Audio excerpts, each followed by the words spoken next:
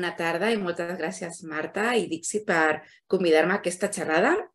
I mm, doncs, compartiré una presentació per fer una mica més a mi la sessió. La idea és estar uns 45 minuts de, de conferència i després doncs, poder doncs, compartir amb vosaltres les vostres inquietuds i idees al voltant d'aquesta no?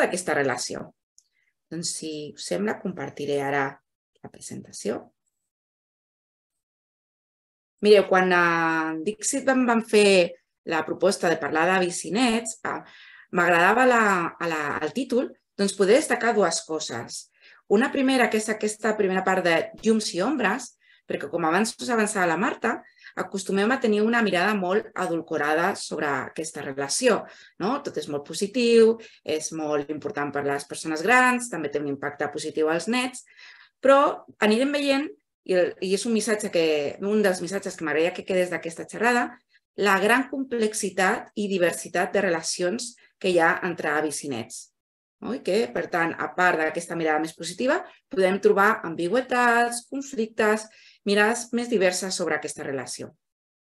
La segona part d'aquest títol ve a esmentar, fer també una, fer-vos una pregunta sobre si creieu que pot ser interessant, si encara no ho estem fent, algunes propostes d'intervenció psicosocial, ja sigui des de serveis socials, des d'escoles, des de diferents àmbits que tenen no, un impacte a la comunitat, si podem considerar que aquesta relació pot tenir aquesta necessitat d'algun tipus d'intervenció al llarg de la seva, de la seva vivència. Eh? Per tant, aquestes serien les meves dos, eh, dos objectius a la presentació d'avui. Mireu, el, el tema de vicinets m'ha anat seguint o perseguint al llarg de la meva trajectòria com a investigadora i, de fet, ja des de l'inici, quan vaig començar la meva tesi doctoral, vaig entrar en un grup de recerca que estava interessat en la relació a bisnets. I al llarg d'aquest quasi 20 anys que porto doncs, fent recerca i docència en psicogerontologia, doncs m'ha interessat molt diferents aspectes d'aquesta relació. Si algú li interessa algun d'aquests articles o vol saber més, em pot buscar simplement pel Google Acadèmic, buscar Montserrat Celdran, i allà pot trobar al llistat i em podeu uh, contactar si algú vol més informació d'alguna d'aquestes recerques. Vaig començar amb una recerca amb avisnets um, en l'etapa de l'adolescència. Va ser un estudi molt interessant eh, perquè jugàvem les diades. Això ens costa molt fer aquest tipus d'estudis. Un estudi de diades va buscar els avis i els hi pregunta una sèrie d'elements sobre el seu benestar, la relació amb els avis, però després anem als nets, a la mateixa relació, i els anem a preguntar a aquests mateixos nets com veuen la relació que abans ens ha explicat l'avi. Eh? Per tant, veiem la dualitat o diferències que pot haver-hi des de la mirada de la persona gran o des de la mirada, en aquest cas, de l'adolescent. En segon lloc, vam fer uns estudis sobre la cura, sobre com els avis i àvies s'implicaven en tasques de cura. Com veurem després, és el tòpic, és la, és la línia d'investigació i d'interès que ha eh, generat molta més investigació que altres temes. En tercer lloc, vam fer també un estudi sobre què passa amb la relació avis-nets quan hi ha un divorci a la generació intermitja. I quan els pares es divorcien malament, no? Aquestes, aquests pares i mares, aquesta relació familiar, i com això pot influir negativament en la relació avis-nets.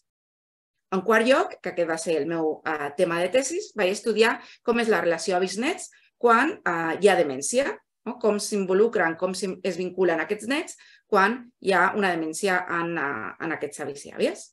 I l'últim, que ja és el més recent, m'estic eh, començant a, a preguntar si els avis i àvies, quan estan amb els seus nets, tenen estils de socialització, de criança, de formes de donar els seus valors diferents. No? Si són més democràtics, si són més autoritaris, no? i com aquesta mirada dels estils parentals tradicionals es pot vincular també a la relació avis i nets. Fixeu-vos que només amb aquesta diapositiva ja tindríem com cinc eh, presentacions diferents de temes molt concrets. Jo que us he plantejat a la sessió d'avui és donar-vos unes pincejades generals sobre per què les relacions avis-nets són diverses i per què hem de tenir en compte una sèrie de factors a l'hora d'entendre molt millor què és aquesta relació. Us he preparat quatre, quatre apartats Primer parlarem precisament d'aquesta diversificació de, de les relacions avis-nets. Parlarem de quins factors influeixen en que la relació sigui diferent, i almenys la literatura ens, ens eh, posiciona sis eh, variables que influeixen en aquesta relació. pararem, òbviament, doncs, de que hi ha beneficis i la ciència i la recerca ens diu que és molt beneficiós tant per als avis com pels, pels nets i finalment acabaré parlant d'algunes intervencions que ja fetes o que jo llanço per poder fer en un futur proper eh, com a intervencions psicosocials. Doncs començarem per una cosa molt, molt bàsica o molt òbvia. Qui és un avi? Avi sempre referim-me a un rol familiar. Què fa que jo sigui una àvia o un avi? És que com espontani quan neix una criatura que apareixen almenys quatre figures eh, d'igualitat? Com eh, veieu a, a la presentació, que és aquest tuit d'una senyora que es, es congratulava no? de que la seva filla havia sigut mare i, per tant, ella de forma automàtica s'havia convertit en àvia. És així, tal qual? És només aquest automatisme de que neix un nen i ja tenim eh, una relació eh, muntada, una identitat muntada d'una avi i àvia? I això ens ho podem preguntar perquè hi ha moltes més diversitats de famílies i, per tant, ens trobem casos mm, diferents i que poden no, suggerir eh, qui, què em fa ser no, sentir-me àvia o avi. Per exemple, el terme ja sé que sona fatal, però és el terme correcte i que està al diccionari i, i seria el que hauríem d'utilitzar. Què passa amb els aviastres? És a dir, famílies que s'han reconstituït, ja sigui perquè la persona gran ha trobat una nova parella, ja sigui perquè els fills han començat una nova relació de parella, i apareixen uns, uns joves, apareixen uns nets, una, una nova configuració familiar. Jo sóc àvia d'aquesta persona. Què fa que jo me'n senti àvia? És el pas del temps? Quant temps tinc per vincular-me amb aquesta criatura? Són els pares que m'han de donar el carnet de ser àvia o àvia? És el net, aquest jove, el que m'ha de veure com una àvia o una àvia, com un referent per a, per a, aquest, per a aquest jove? Eh? Fixeu-vos que no és tan fàcil uh, acabar de saber en, en famílies tan complexes com les que tenim ara, qui és l'avi i qui no, no ho és. També ens passa molt en casos d'adopció. Hi ha famílies, a vegades, no? Ah, doncs, parelles, una persona a nivell individual que intenta no? doncs, doncs, un procés d'adopció que potser la relació amb els seus pares no és la més adequada o no els explica que està fent aquest procés bueno, i apareix una nova relació en la vida d'aquesta persona que impacta també en aquesta persona més gran soc l'àvia, no ho soc, fer un procés intern, psicològic, social, de com em veig jo en relació amb aquesta criatura. Eh?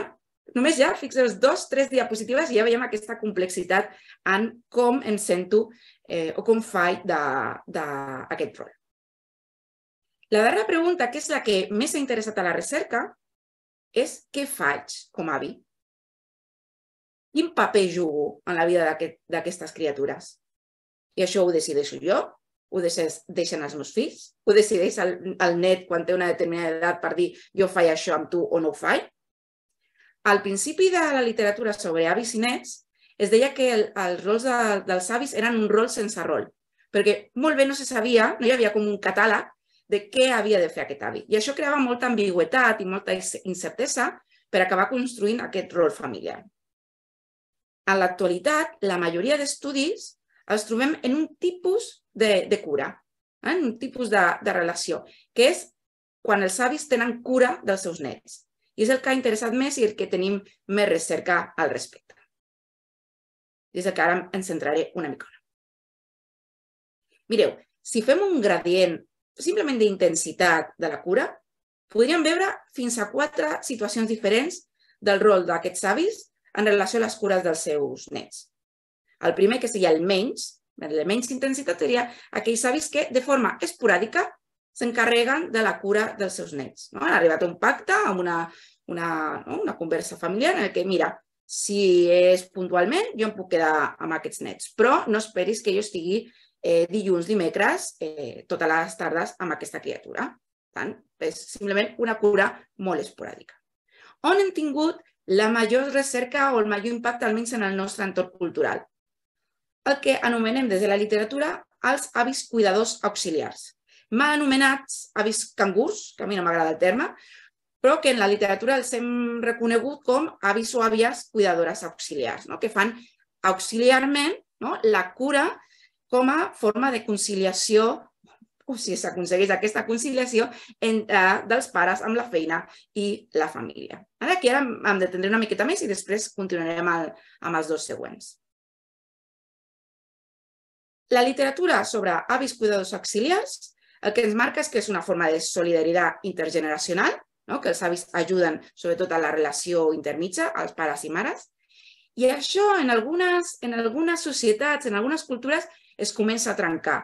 I això com que uh, les expectatives que tenen els fills envers els, els seus pares no acaben de ser mútuament congruents. No? Hi ha moltes persones grans que dins, que quan es jubilen, no pensen o dintre del seu bagatge d'activitats que volen fer, no entra 20 hores a la seva setmana a estar amb els seus nets. I això doncs, tensa uh, aquesta solidaritat intergeneracional que fins ara estava com donada per, no? com, com molt habitual, no? i ja ni es preguntava, s'esperava de forma molt habitual que els avis volguessin fer aquest, aquest tipus de rol. És cert també que està molt vinculat a conceptes positius sobre l'envelliment. Ja, per posar-vos un exemple, hi ha un concepte que es diu envelliment productiu, que ha inclús mesurat quan seria en l'impacte en l'economia totes les hores que aquestes persones grans dediquen a la cura i al manteniment no, de, de les activitats amb els seus nets. Per tant, està donant-nos una mirada positiva de la participació o de l'impacte que pot tenir ser gran en la societat o en les famílies actuals. Malgrat això, ha arribat un extrem, aquestes persones, moltes que són dones, eh, molt grans, que tenen una agenda 100% vinculada a la vida dels seus nets, en plural, eh, arriba l'extrem que la sobrecàrrega, l'estrès i el no poder-se cuidar i dir no, arriba al que un metge fa ja un temps va definir com el síndrome de l'àvia esclava. I el que ell es trobava a la seva, a la seva consulta d'atenció primària era dones grans estressades, amb eh, problemes d'ansietat, d'angoixa i problemes inclús cardíacs tant, uh, temes psicològics i també temes a nivell de, de, de medicina. Per tant, hauria de posar una alerta no? i podrien reflexionar després de quins són els límits d'aquesta solidaritat intergeneracional, no? que no afecti des, finalment el benestar d'aquestes eh, dones grans. Aquí s'he posat dos exemples, dos eh, cites d'un estudi que van fer, el que us vaig explicar al principi, que són dones grans que cuiden els seus nets i ens explicaven una miqueta com veien això de la de la via esclava. I així aquí, no? que una d'elles diu conec molts avis que estan esgotats quan se suposa que estan en un moment de vida on haurien d'estar relaxats. Però nosaltres no, eh? Hem treballat tant i hem tingut tants problemes que això sembla de riure en comparació, no? Per tant, com que es posa a la defensiva una mica de creure que ja pot ser una àvia esclava. I aquesta altra dona no? ens parla de que ella veu no? àvies que han d'estar amb els seus nets tot el sant dia. En veig moltes al parc. Jo no podria suportar aquesta angoixa. No? Ens parla dels límits, no? de com podem treballar aquests límits amb, no? amb les famílies. Tercer nivell de gradació d'intensitat de la cura, el que a la literatura li diem la coparentalitat. Aquí tenim sobretot situacions eh, familiars en les quals eh, fill o filla doncs, ha tingut descendència, però o és menor d'edat o eh, encara depèn econòmicament o emocionalment dels pares. Llavors, aquí tindríem uns avis que han d'implicar-se molt més a la cura dels seus nets, que potser viuen inclús amb la, el mateix, a la mateixa llar, i també han de preocupar-se de les necessitats i el desenvolupament d'aquells fills adults que encara els necessiten. Aquest seria el concepte de coparentalitat, no? que hi ha com compartit aquest, aquest rol de, no, de cura i de criança dels, dels nets.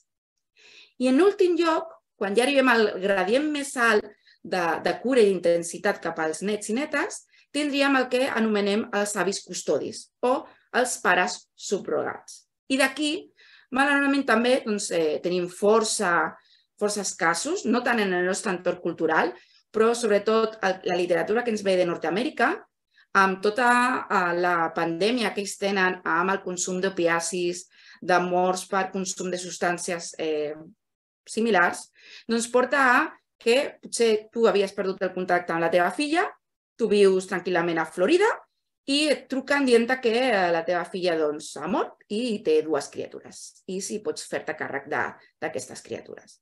És el que nosaltres en el nostre entorn no? li diem no? la, la, la, la, la família, no? la custòdia en família extensa.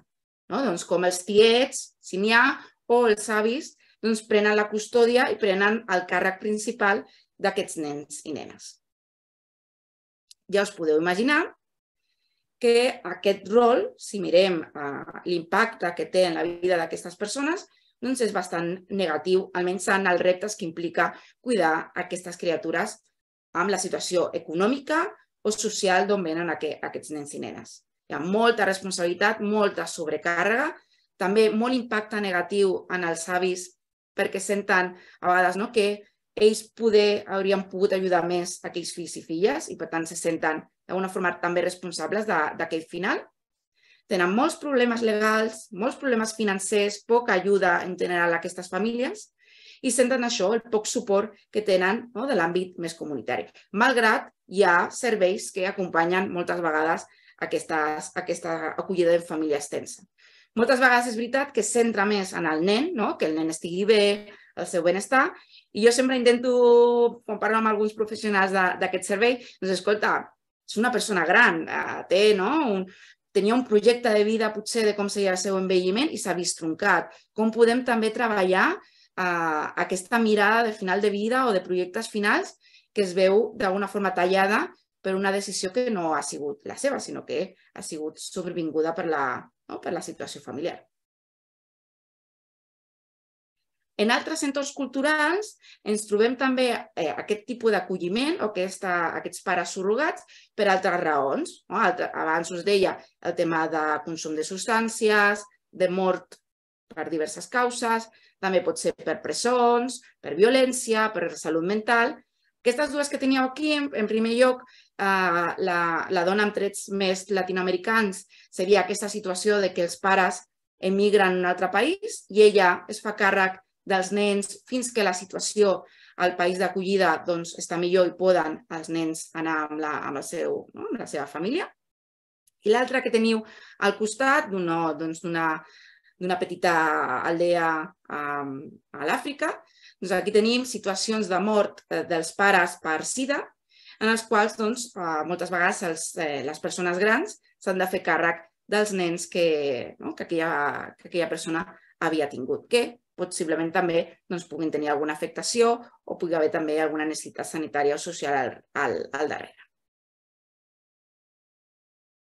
Per tant, primer missatge important que m'agradaria que us emportéssiu d'aquesta sessió és aquesta diversitat no? de mirades, de comportaments, de conductes que poden tenir una persona gran que fa d'àvia cap als seus nets i sobretot aquesta mirada des de la cura, no? que sabem d'aquesta relació de cura, de nurturing, no? de, d'estar pendent de les necessitats de, de la criatura.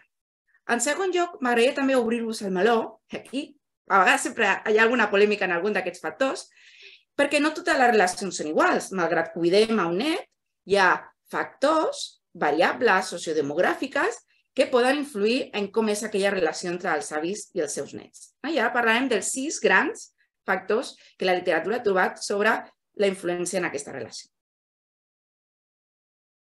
en el que teniu aquí. Aniré un a un perquè teniu el resum dels sis grans factors.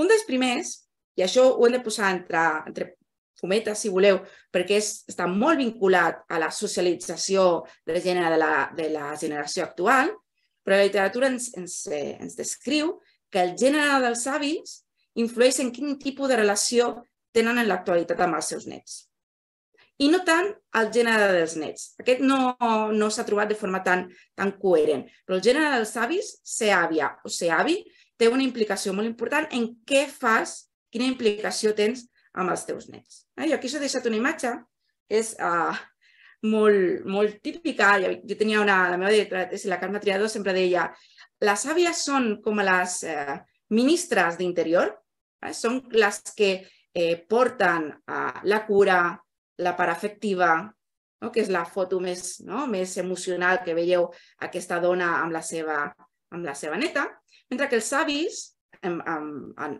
en homes, serien el, el Ministeri d'Exteriors. De, no? Són com els que eh, van cap en fora, a, cap a activitats, no? com veieu aquí d'aprenentatge, no? si tinguéssim doncs, una persona gran que era del camp, doncs les vivències que podíem tenir amb aquest avi uh, durant l'estiu, correant algun tipus de, de producte o estan en la cura de, no, de, de l'exterior.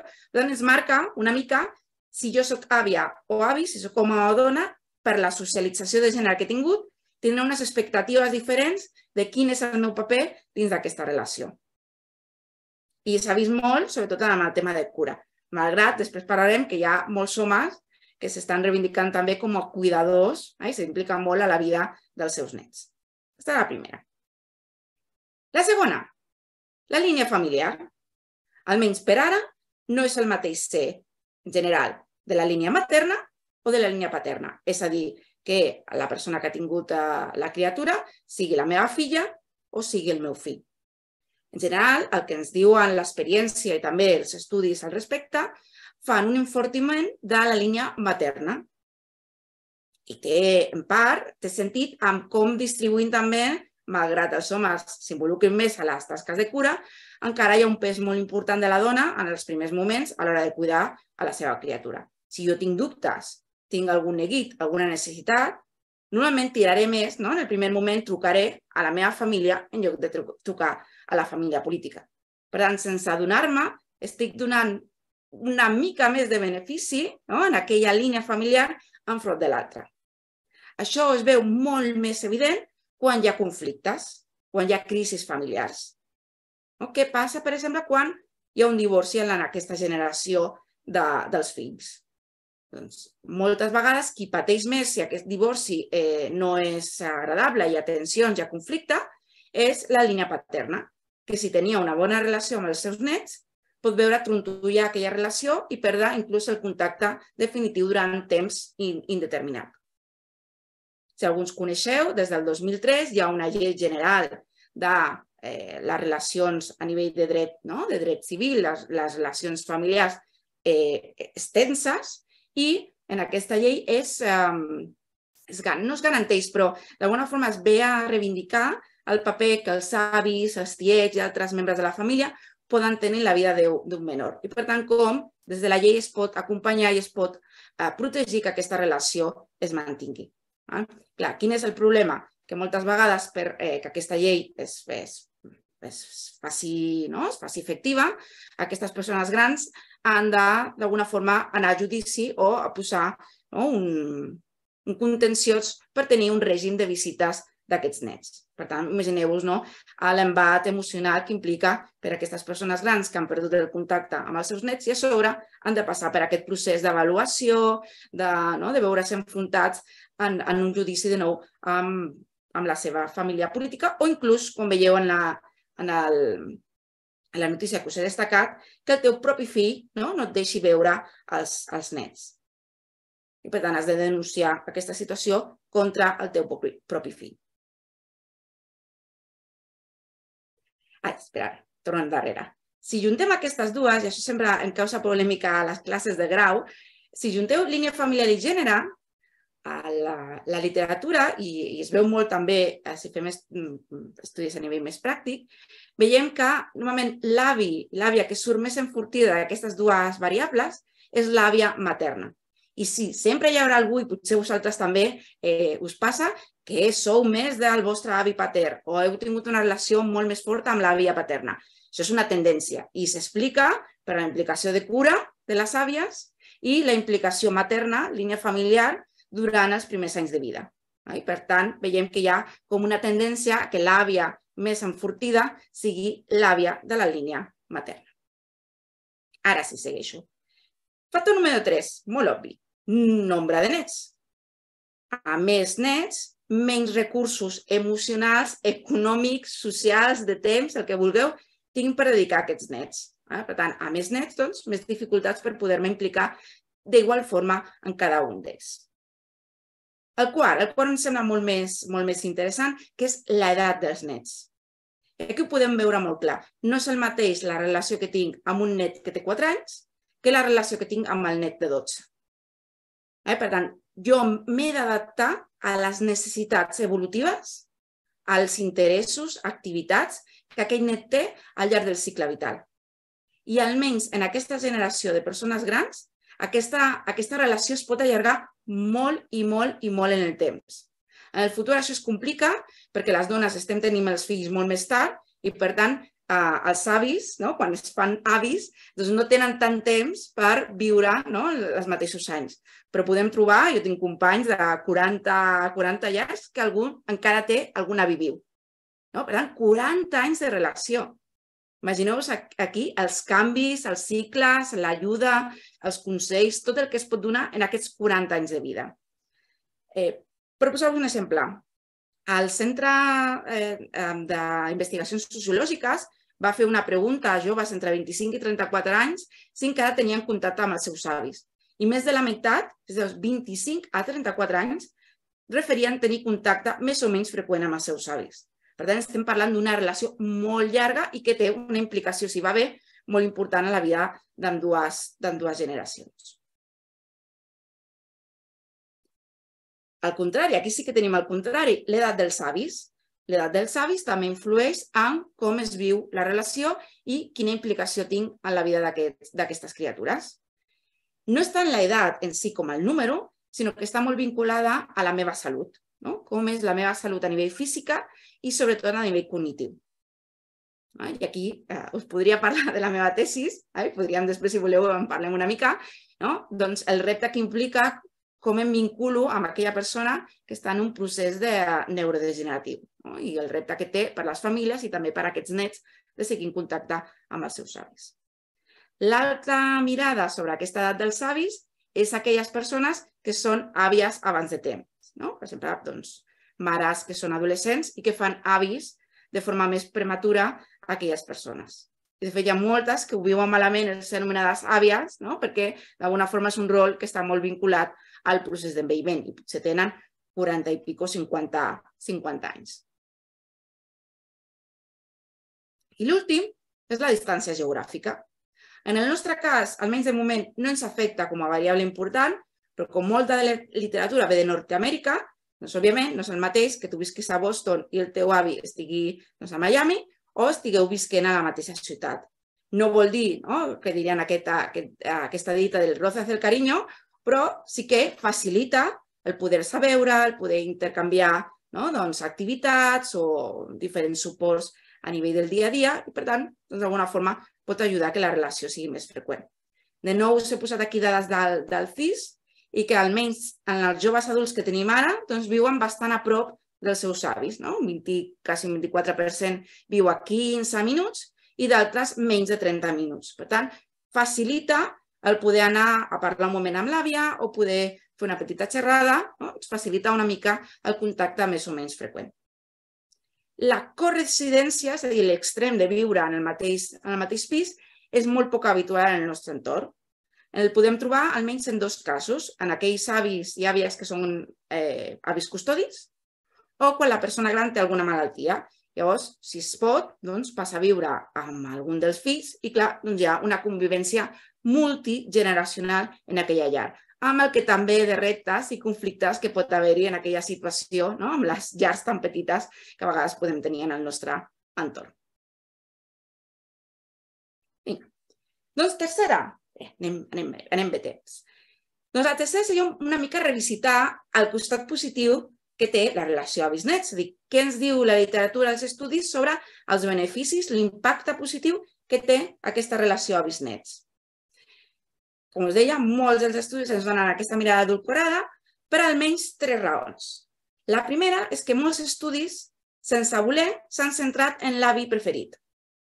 Que és molt més fàcil que una, un jove ens digui que té un avi preferit que no si anem als avis i els hi preguntem si tenen algun net, perquè tots són idèntics i no hi ha cap diferència a priori segons aquesta persona gran sobre els seus nets. Però els nets sí que són més eh, curosos i a vegades fan aquesta distinció. Imagineu, si alguna vegada nosaltres que vam fer aquest estudi amb adolescents i anem a un institut i els hi passem, simplement els donem el qüestionari i els diem uh, contesteu sobre un avi, el que vulgueu, vosaltres què creieu? Què ens contestarien? Doncs normalment aquests adolescents ens contestaven sobre el seu avi favorit. Si has de passar una estona contestant eh, preguntetes sobre el teu avi, millor agafar amb aquell que tens més relació que no amb aquell que no, no et pots ni veure. Clar, això ens donava un viatge sense voler d'aquestes relacions superpositives entre avis nets. Una cosa que vam intentar en alguns estudis és fer quatre, quan anàvem en versió paper, quatre versions del mateix qüestionari i repetir-les aleatòriament. I l'únic que canviava la portada del qüestionari era sobre qui et preguntava. I mira, mala sort, si et toca l'avi patern o si no tens relació amb aquest, doncs et tocava l'avi patern. I si aquest eh, avi doncs, ja no estava o sabia perquè s'havia mort, doncs llavors sí que aleatòriament igual li canviàvem el qüestionari. Però això obria el ventall que poguéssim trobar relacions més diverses i alguna potser inclús negativa. La segona, el segon esbiaix és el que es coneix com a hipòtesi de l'interès generacional. I això ens passa molt quan entrevistem persones grans. En qualsevol relació familiar, que sigui de generacions diferents, si preguntem a la persona gran, normalment la persona gran ens donarà una visió molt més positiva que aquella mateixa relació vista des del fill o vista des del net. Per què? Com podem entendre això? I us, us ho he deixat en anglès perquè s'entén, jo crec que s'entén millor. En, en, en anglès teniu la paraula stake, no? que eh, es refereix no? a la inversió en borsa. No? Doncs d'alguna forma, jo com a persona gran he invertit, ja entenem-me, eh? invertit simbòlicament molt més en la relació que el que tu jove has invertit en la relació. Llavors, um, reconèixer que aquella relació no va bé té molt més impacte negatiu en el meu jo, en el meu benestar, que ho reconegui el net o que ho reconegui el fill. Per tant, les persones més grans tendeixen a quedar-se més amb allò positiu i no destacar tant aquelles coses negatives que pot tenir la relació. I això, de nou, al final, ens dona una edulcoració de la relació a nets. I la darrera eh, limitació que tenim a l'hora de veure eh, diversitat de relacions és arribar a aquelles relacions que són complicades. No? Si jo vaig a una persona gran i li, li pregunto sobre que em parli o, o l'entrevisto parlant d'una relació que no és bona amb el seu fill, amb el seu net, perdó, doncs potser no voldrà parlar d'això, no li vendrà de gust.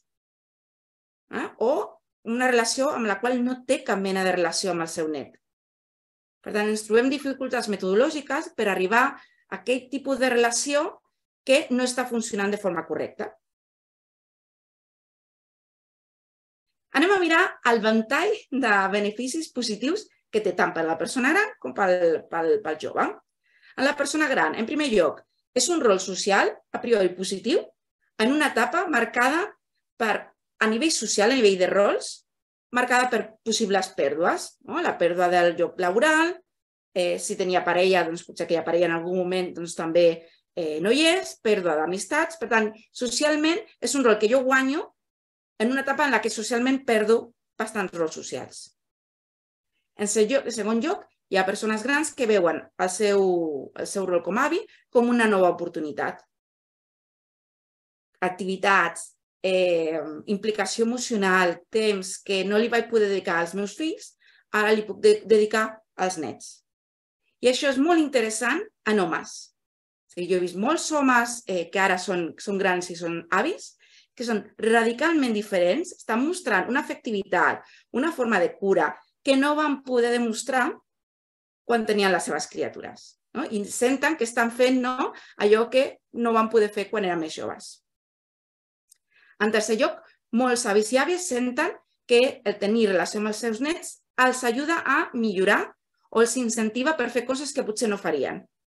I si hi ha alguna educadora, algú que faci programes per gent gran en casals o on, on, on altres eh, locals, feu un taller en el qual el benefici sigui millorar la relació amb el net, entendre les noves tecnologies perquè vull parlar millor amb el meu net, o vull, com teniu a la, a la imatge de la presentació, vull aprendre català, i això és eh, una notícia del Consorci de Normalització Lingüística, que es va trobar un grup de persones grans que volien aprendre català i la principal motivació era per poder fer whatsapps en català sense faltes perquè els hi feia vergonya que els nets veiessin les faltes que feien.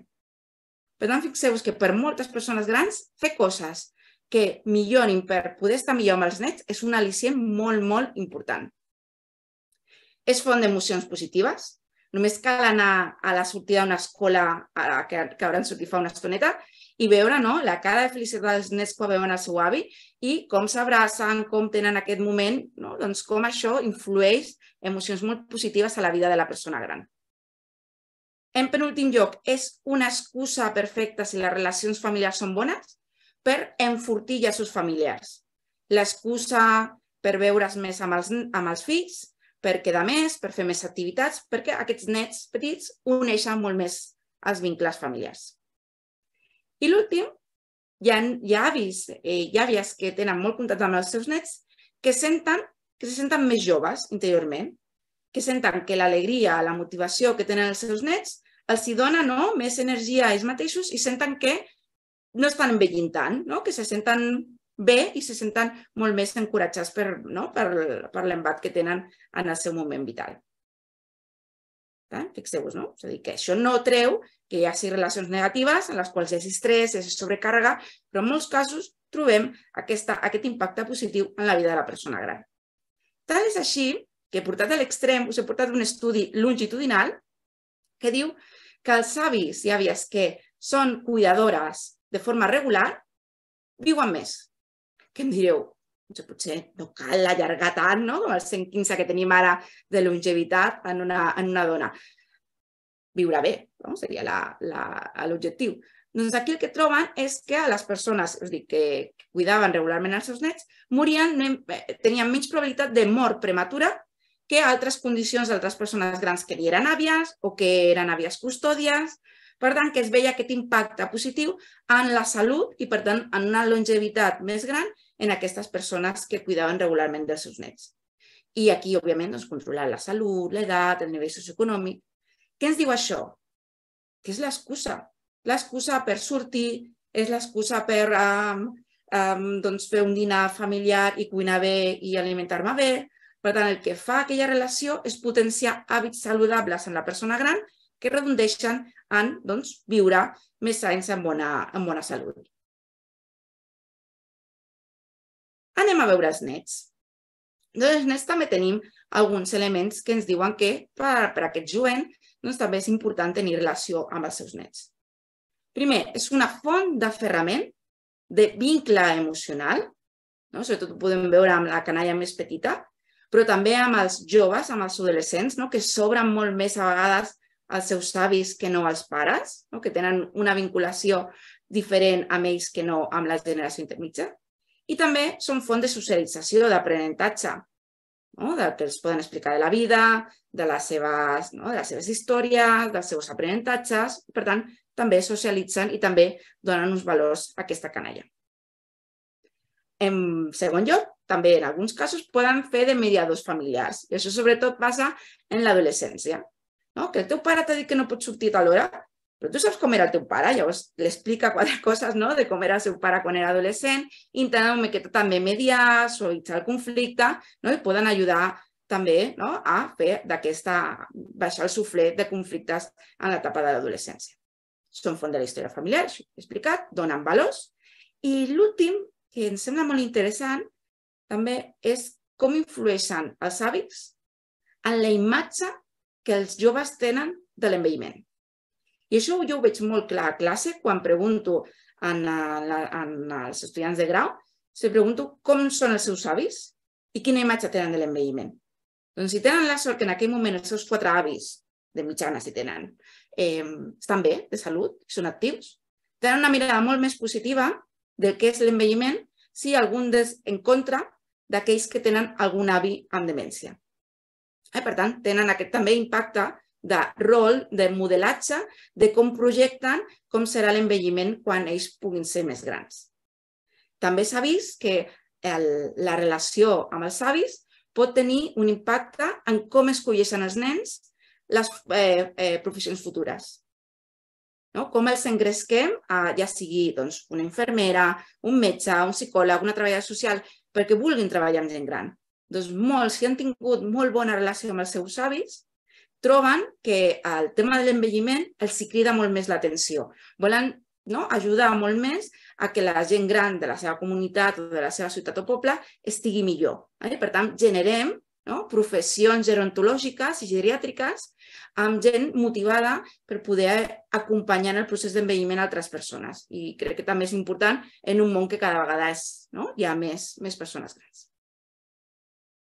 Mireu, i aquí teniu, us he portat algun exemple d'un concurs que es feia fa uns anys de háblame del teu avi, háblame de la teva, dels teus nets, i aquí teniu dos dibuixos, així més, voleu, més bucòlics, no? de, de nens i nenes doncs, dibuixant els seus avis, no? i com es veu no? els colors, la, no? la diversitat i com el veu no? en aquest, no? el meu avi és gran, no? el meu avi em protegeix, no? doncs com es veu aquest impacte en els dibuixos d'aquests joves. Anem al quart i últim, i últim apartat, que si us he, heu arribat fins aquí i heu vist la diversitat de relacions, com hi ha factors que influeixen en la relació, la darrera cosa que jo volia parlar amb vosaltres és cal intervenir en aquestes relacions? Si sembla que ja van mig rodades, té algun sentit programar un servei, programar uns tallers per la relació a bisnets? I jo us diria que sí, jo almenys us vull convèncer, si puc, de que sí que és important fer aquest, algun tipus d'intervenció. I almenys en tres, eh, en tres mirades. La primera, per donar valor a la relació a bisnets. Sembla que donem per, per assabentat, per, per, per gratuït, que els avis estaran amb els seus nets. I que és com si d'alguna forma aparquéssim, surten de l'escola i els aparquem una estona amb els seus, amb els seus avis però no li donem a vegades el valor que té aquell temps amb els, amb els seus avis. Per tant, com podem ajudar a que aquest temps sigui de qualitat, que tingui un sentit, o que facin activitats significatives pels avis i pels nets. Aquest seria un primer, un primer objectiu. El segon objectiu és que les persones grans poden ser molt bones aliades per fer treball comunitari, per fer treball psicoeducatiu, per acompanyar en el benestar infantil adolescent. Com els podem fer aliats nostres per poder acompanyar aquest jovent que pot tenir algun tipus de dificultat o impacte en la seva salut, ja sigui física o mental.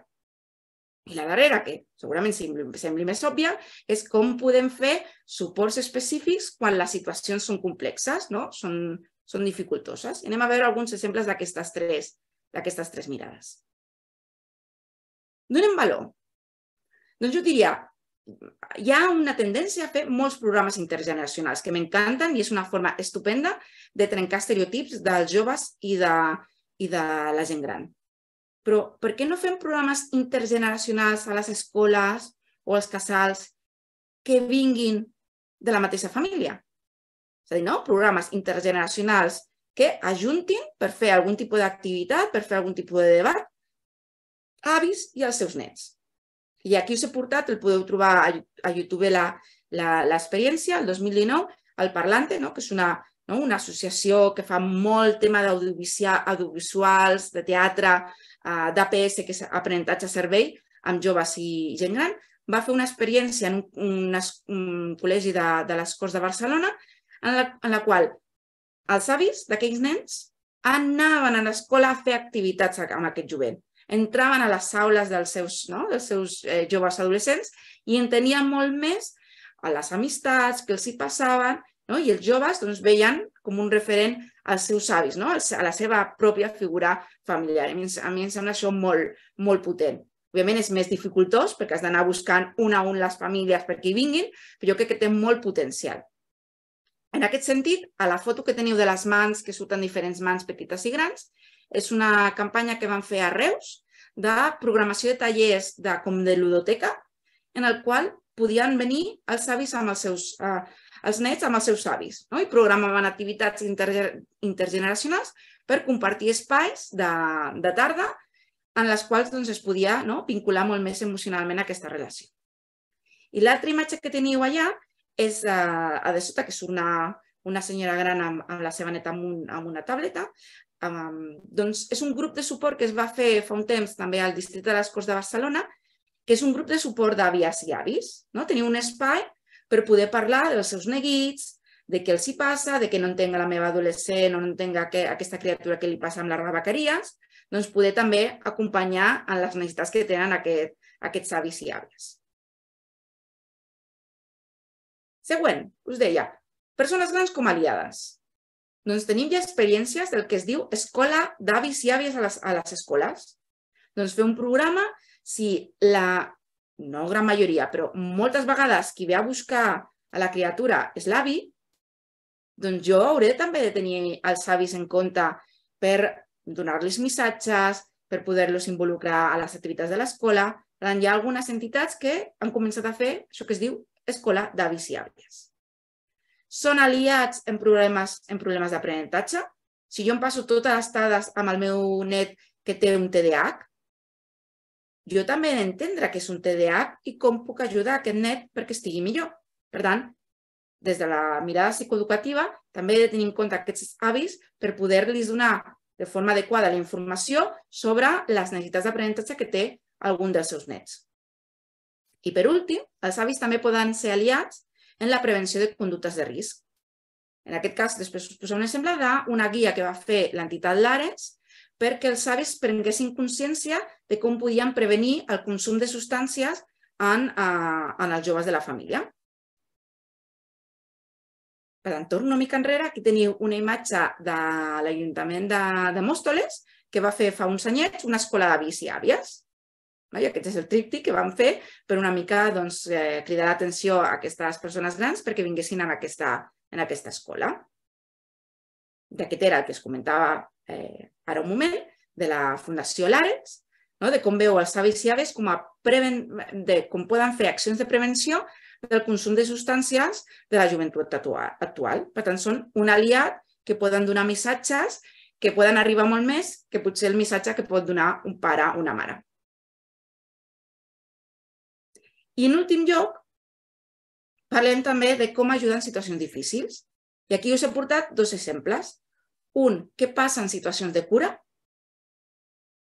Afortunadament, en, en l'explicació de la demència als nets, tenim alguns contes, inclús alguns còmics, algunes aplicacions també pel mòbil, que intenten en un llenguatge planer explicar què li està passant als seus avis.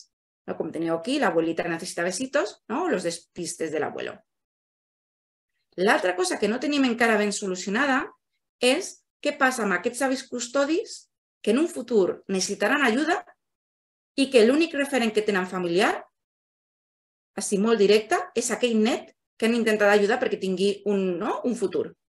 Clar, què li passarà a aquest net que té 20, 30, quan el seu avi doncs, necessita algun tipus d'ajuda? Com podem acompanyar a amb dues figures perquè cadascú faci el seu camí i tingui un bon benestar en aquest procés no, d'acompanyament de la dependència. L'altra situació en la qual podem també ajudar i fer intervenció psicosocial és en les situacions de divorci. Aquí us he portat un tríptic que vam fer fa uns anys al, al Departament de Justícia, no? donant idees als pares i mares perquè posessin al centre no el seu conflicte, sinó els nens, i un d'aquestes eh, situacions de reflexió és la cinquena, en la qual eh, li deien no? i intentaven interpel·lar amb, amb els pares, escolta, aquest nen, nena, vol tenir contacte amb els seus avis, estima els seus avis, els seus tiets, els seus nebos, els seus cosins, no li privis d'això. No? I una mica de reflexió de què necessita el nen i nena en aquella situació de divorci.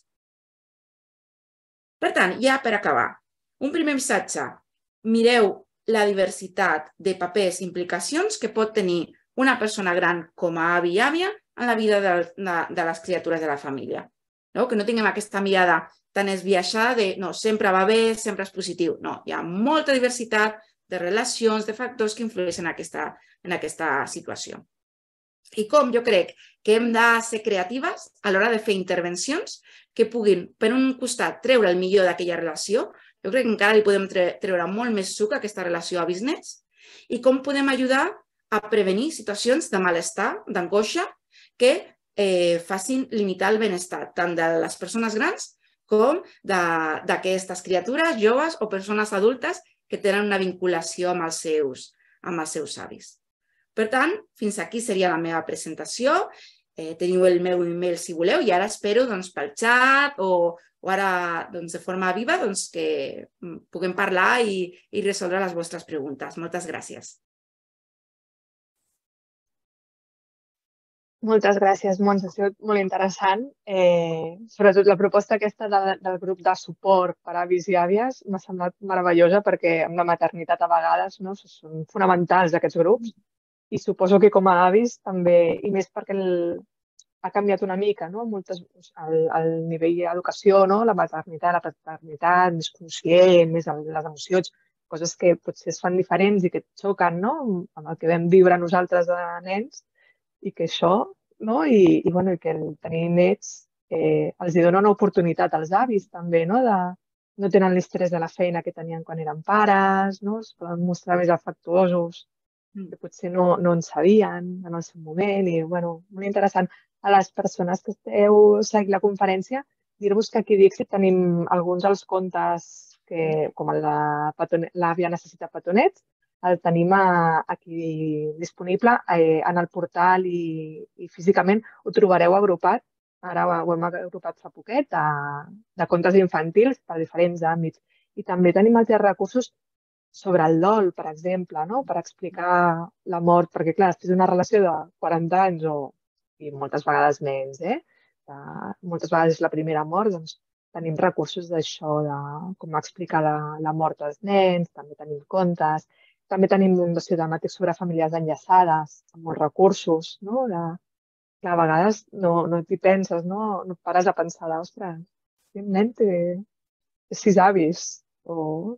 Clar, clar, clar, no? és que la diversitat de, de famílies, de reconstituïdes, no reconstruïdes, té inclús persones grans que comencen noves relacions quan són grans, no? I potser l'altra parella té nets. Llavors, clar, si jo estic 5-10 anys de relació, perquè pot passar tranquil·lament, jo els veuré, jo tindré un contacte, però qui sóc jo respecte a ells, no? Eh, quina relació tindré amb, aquestes, amb, aquest, amb aquest jovent? Per tant, bueno, jo crec que s'amplia no? la, mirada, la mirada cap a les relacions de, de generacions tan, no? tan, tan disperses. Eh, si voleu aixecar la mà i us obro el micròfon, també podeu, eh, per formular preguntes o compartir reflexions. Perquè no sé si el, algú dels assistents o tu, Montse, ens pots donar alguna pista de com ajudar no? algun avi o alguna àvia que estigui superat per la situació perquè mm, l'exploten, no? que a vegades també és per necessitat, però no sempre, i els avis també tenen dret a tenir la seva vida. Llavors, com gestionar això? És, és complex, no? Però jo el, la, crec que el primer és, és poder parlar-ho i parlar-ho bé, no? De seure en un moment tranquil, no, no seure en plan, no puc més, no tal, no, no, seure, dic, mira, el, uh, tants dies m'estan anant malament, no em trobo bé, busquem opcions, no? Busquem opcions perquè a vegades, eh, doncs, el que tu dius, Marta, hi ha recursos a la comunitat, no? de, doncs de voluntariat, de canguratge, que no sabem i que poden ser un aliat també, que la família no ha d'arribar a tot, no? I que, que podem buscar altres aliats a l'escola, fora de l'escola, ludoteques, que ens poden ajudar a poder, no? poder cuidar i cuidar bé a tothom. N'hi ha de gratuïtes com el Concilia, que s'ha posat ara Exacte, sí. a, a Barcelona, que ah. ha funcionat bastant bé, em sembla. Mm. Doncs això no sé si no hi ha preguntes, és que ho has explicat Ai, també, és, és... tantes coses, no? tants tipus de relacions que és per reflexionar. No, I i n'hi ha, ha més, eh? Jo sé de ja podia fer... Això és l'ABC, és a dir, que després el podem mm, fer més complex i centrar-nos en adolescents, centrar-nos en temes de demència. És a dir, que jo crec que la relació eh, dona per molt i, i jo crec que s'ha de, de valorar també no? l'impacte que té en, en la vida de, tant dels joves com de les persones grans. No sé si podries explicar una miqueta més el tema de la prevenció de, amb adolescents, per exemple, o, o amb el TDA, com, com poden ajudar els avis? En, en adolescents, mira, t'explicaré una anècdota. Una, una vegada que anava en, en metro i vaig veure un jove que anava parlant pel mòbil i anava com molt, molt carinyós, molt tal, i dic, ai, mira, està parlant amb, no? amb, amb una, un interès que té.